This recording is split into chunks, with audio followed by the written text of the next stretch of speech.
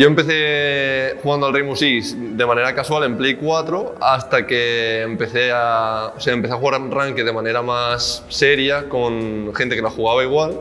y acabamos, acabé probando a jugar competiciones en Play 4. Las competiciones me, me encantaron, me enamoré del competitivo y decidí pasarme a PC y decidí hacer sacrificios como vender cosas que tenía en casa eh, compaginármelo con el trabajo y con los estudios y dar el paso a PC e intentar conseguir mis objetivos. Estuve compitiendo todo lo que pude, todas las Spain Cups, las Europe Cups, las GoFor, eh, hasta que al final pude montar mi propio proyecto. Salgo de varios proyectos defectuosos en el que la gente hizo disband, se cansó de, de perder o de querer trabajar juntos y yo me di cuenta de que lo importante para tener un buen proyecto era gente con el mismo objetivo, que tuviera calidad para jugar, pero que a la vez estuviera enchufado el día del partido.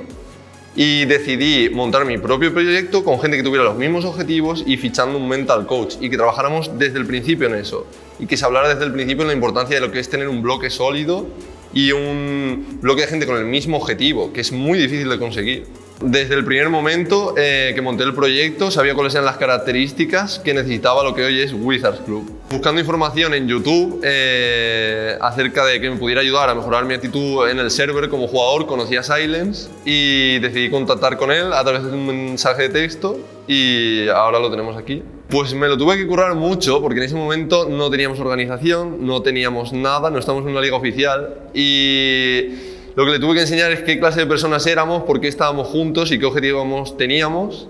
Y él, tras unos días de prueba con nosotros, decidió quedarse por lo que éramos. Pues yo acabo de terminar mi, primer curso de formación como coach eh, en la UNED y tenía mucho interés en empezar a trabajar con un equipo en plan amateur para yo pillar experiencia, cómo trabajar con un equipo que pretende profesionalizar su actividad y tuve un par de, ah, de trabajitos así muy breves con un par de equipos. Nada, fue, fue algo bastante breve, nada relevante, pero yo seguí con la puerta abierta y tuve la suerte de que Flama me conocía por mi canal de YouTube y se puso en contacto conmigo y le vi, tengo todavía conservo su mensaje de Twitter y le vi un tío como muy centrado, que tenía muy claro lo que quería y eso me llamó mucho la atención. Y me senté con, con él para hablar del tema.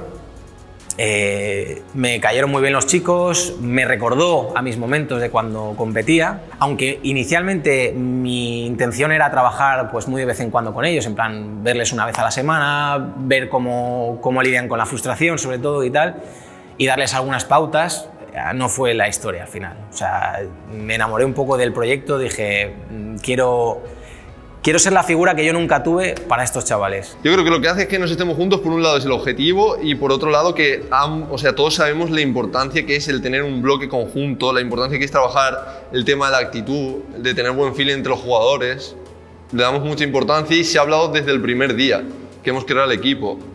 Y claro, encontrar, hemos encontrado gente que está que vive eso como lo normal, que cree de verdad que esa es la manera y todos somos así y por eso estamos juntos. Pues estoy orgulloso del Wizards eh, de este año y del trabajo que llevamos. Pienso que el año pasado implementamos un montón de cosas de la base que eran importantes implementar y que ahora tenemos identificado qué es lo que tenemos que hacer para ser mejores. Sabemos que si damos los siguientes pasos que tenemos que dar y fixeamos lo que tenemos que fixear, eh, vamos a dar más pasos adelante y vais a ver un Wizards campeón de liga.